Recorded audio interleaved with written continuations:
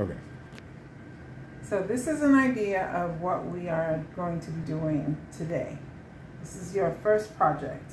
So each of you should have received one of these boxes with a bunch of supplies in there. So what I want you to do is take all your supplies out and set them to the side.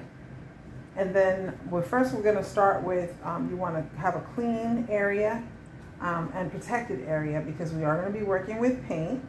I want you to take out your paints. So in addition to your paints, you're gonna need some kind of paper plate or something to put your paints in. You're gonna need one or two cups of clear water. You're gonna need your wide brush and your thin brush. And if you want, you can use your number two pencil to sketch out your idea. Okay. And then you want to have your box, right? So you want to make sure that it's empty because you're going to be moving it around and you're going to be holding it, okay?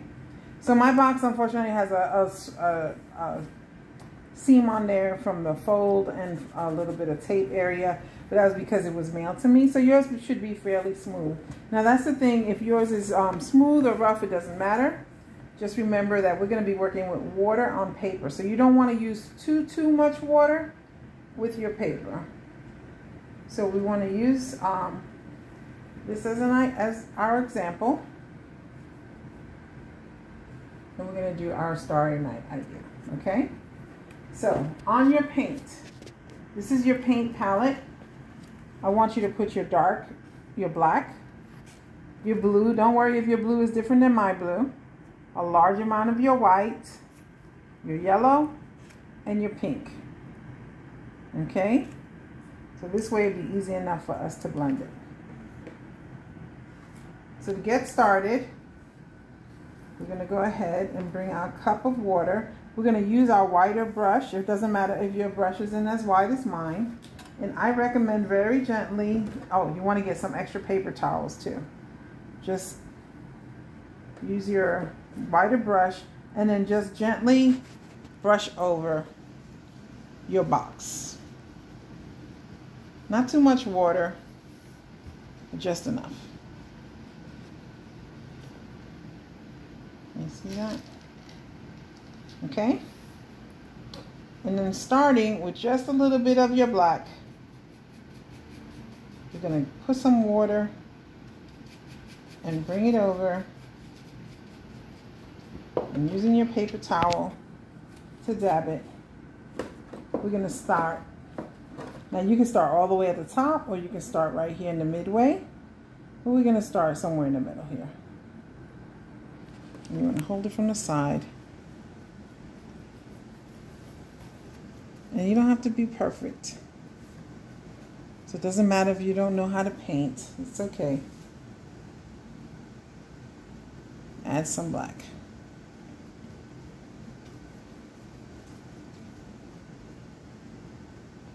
Okay. And then go over to your blue. Drag your blue into your black like that. And add some blue. And you can flip them back and forth and it's okay. It doesn't have to be perfect. And since you see how I have those little straight lines, so since this is the sky, we could swirl it a little bit. Because of this paper, it's not going to blend as well, so we can, we'll make it blend our way. So swirling, when I say swirl, you can do swirls, you can do half circles, and that blends it a little better. Okay. Get some more of your blue.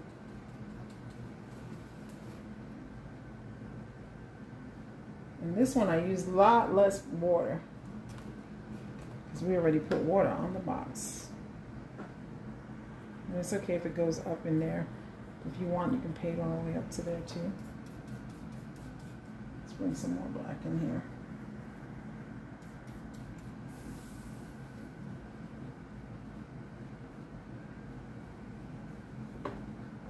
See, I'm just smushing it in there, smushing it.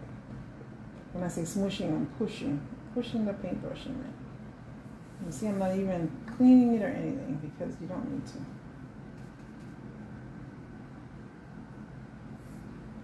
Now this is your sky. If you want your sky blacker or darker, this is a night sky, you can do it darker. But I kind of like what we have going on here where it's kind of light and it's going into the sunset.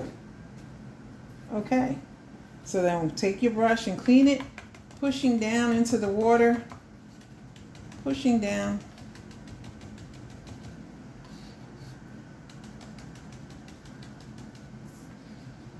Pushing down until you got it really clean and then clean it off on your paper towel. So it does help to have two cups of water, like I said, so that you can use that same brush in the cleaner water. And now we're going to go into our pink. And like I said, don't worry if your pink is not my pink. It could be anything. So we're going to start down here in the middle. And we're just going to blend that in. But don't touch the black yet. Just first work on the pink itself in the middle here. And then work your way up.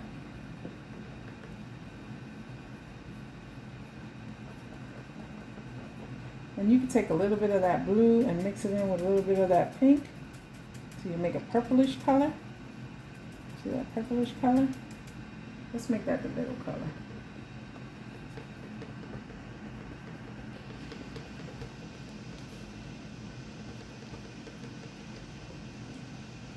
And if your pink is as thin as my pink, you can just put your a little bit of that white in there. And that'll thicken it up a little bit. See what I mean? Nothing perfect. Get even a little bit of the black to make that purple a little darker right in here. And you can dab it if you want.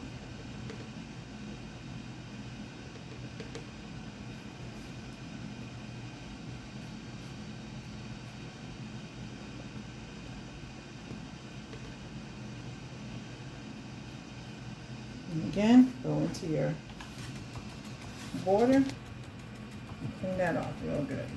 Pushing it down, get that out, putting that off.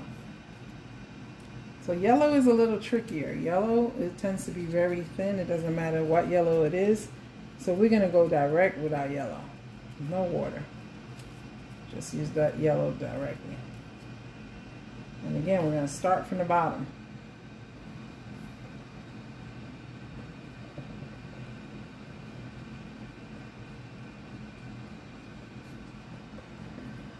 And it's okay to go up into that pink. See, you get that beautiful orangey sunset color.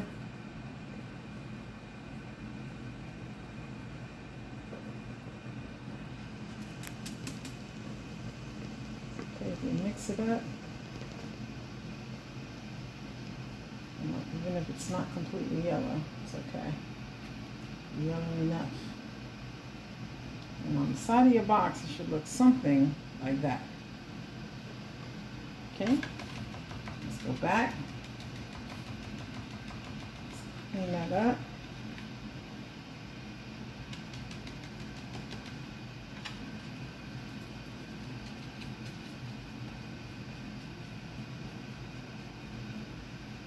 Okay, so we're going to put this wide one to the side and we're going to use our thinner one. With that, with the clear, and go into that white. and go into the white. That's why you want to clear the area because sometimes it slips from your hands. I'm going to show you how to do your little clouds. So you're going to make a line. Okay, and then you're going to poof it. Pushing, pushing, pushing, pushing up. See? You're just pressing down. You're not even and just keeping it near your line. Can make your cloud come out. Do another cloud up here if you like. Just a line. And then push and push and push and push so that we're making puffs.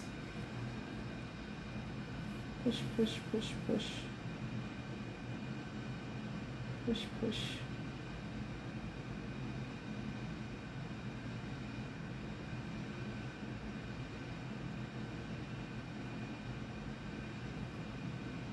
The good thing is this is acrylic paint, so this dries pretty fast. And push.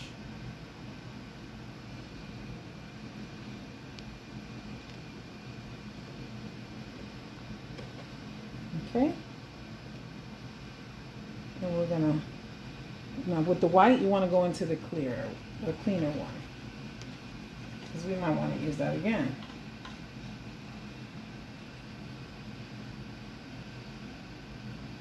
Now, if you see in our picture, we have stars, and a shooting star. So with the stars, excuse me, with the stars, you're gonna use the back end of your paintbrush. So just stick it into the paint like that. You see that?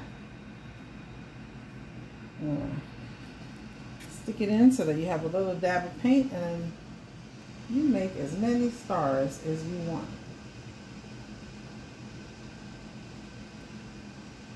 Since this is twilight, we can go into the pink area because sometimes you know you see the stars. If you wanted to, you can even make a moon using the end, just moving it around. There we go. You can make a moon. And you can make, if you just touch it lightly like that, little, little stars. Bigger stars with more paint. You keep going. You can hardly see them, but they're there. see those stars. If you wanted to do a star like this one, you take a big dot and you make a line and a line and a line and a line coming down like that. And then you make a little line and a little line and a little line and a little line like that. And I put lines on the end to make it even brighter. To do a shooting star, you just do like a dash, a dash, a dash, a dash, a dash, like that. And then a big old star at the end of that. So it looks like it's shooting from somewhere. Make that big. You just make light around your moon. And then clean it off before you go back. So we're going to put that one down. And now we're going to go back with our flat brush. Okay. And we're going to go into the black. And we're going to go, now watch, you're going to put that in there on one side and on the other side to make it flat like that. So if you see that, it's flat. And there's black on both sides. And now we're going to do our trees. So we could do a tree right here. Look, I have a crease that tells me a tree should go here. And you don't have, you could do an actual line. So we, we got a tree here and a tree here and a tree here and a tree here. Right? And again, if you want more paint, you go back and you do flat and flat. So trees have limbs, so you could use that, like that, like that. There go, go back, that. Or you can use the edge and you can make like a pine tree. So we're gonna press, see now see what I'm doing? I'm taking my paintbrush and I'm pressing and then I'm gonna push from the middle out.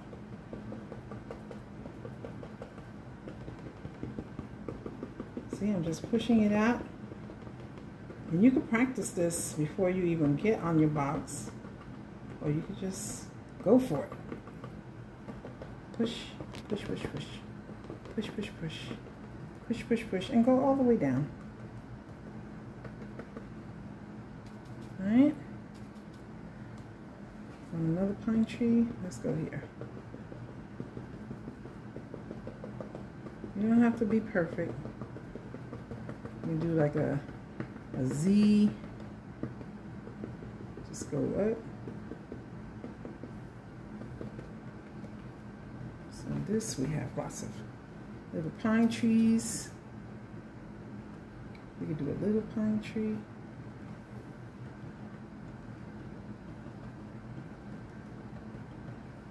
Right?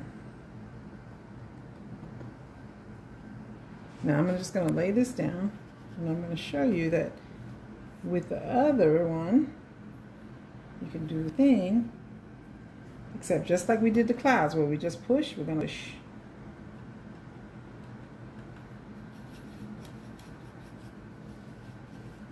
Push, push, push, push, push. And right now this looks like a mishmash, but take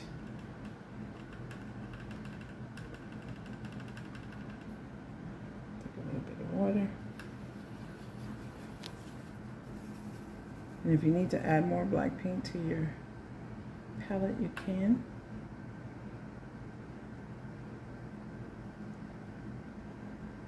You can do it again up here. Now you could study trees if you'd like and look at the silhouettes of different trees and see what you like best. But we're just going to do these like this. And don't be afraid to get some of that blue in there if you need to. It's going to reflect what's going on in the in the sky and I'll show you what we're going to do.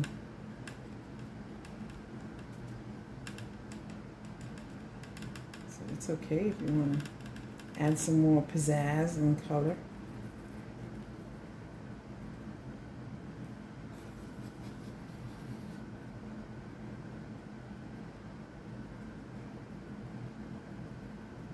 Okay.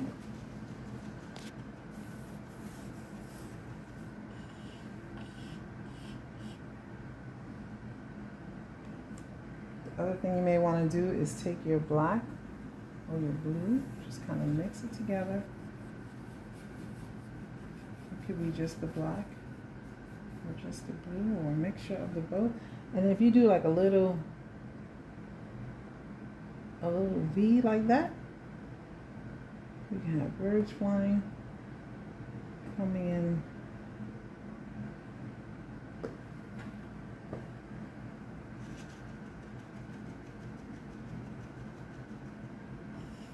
And the last thing you want to do, and again, you can keep adding more flower, more clouds. You can add more. Now, what I would do is, now that these clouds are a little drier, add more paint.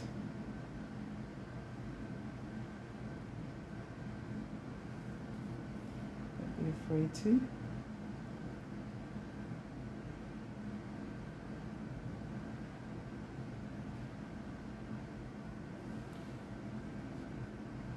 Also add just a little touch of white to the tops of your trees. Just little touches here and there, just little highlights to show that there's still light. Do it on this side where the moon would be reflecting down onto the trees.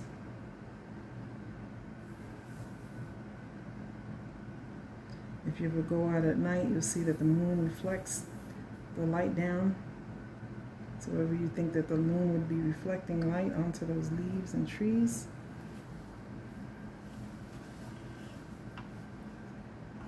And that's it, artist. Now you just sign your name and you have a night on the side of your box. We'll see you tomorrow morning. Great. So I'm so proud of you that you actually took a chance to make something on the side of your box. Don't worry if it doesn't look exactly like mine. This is your box. You can do whatever you like. I'm sure some of you are going to do a much better job than this. I was trying to do it with the simple uh, tools that we have. I said to you before, if you guys wanted to, I put some extra black paint on my palette. If you wanted to make it look darker, you could also do that as well so that it doesn't just, you know, it doesn't just blend in here. Um, but that's optional, you don't do that. Uh, you can, if you guys really actually wanted to paint little leaves, you could do that too. So this is your box, like I said. So I wanted you to have more than just the box. So you see I only painted one side. Think about what you can paint on the other sides. What can you do with these sides? You know, turn this into a little house. Um, you can get branches from outside and actually glue them to the side and make it look like a little wooden house. Or a wooden box or a wood box with uh, little branches on it. It's up to you. You can decorate it any way you'd like. Um, another thing you can do is punch little holes with, um, if you have a hole punch or a scissor or very carefully, of course, and punch little holes. And not with a real candle, okay? But with one of those little fake candles that you can get at the Dollar Tree that you can put a battery in, you can put it in there and have your little sky light up. So there are lots of things you can do. Um, instead of just having a plain white box, you guys can paint the entire thing this way and design it for your own bedroom. So I hope you enjoyed this art activity and I look forward to working with you guys again.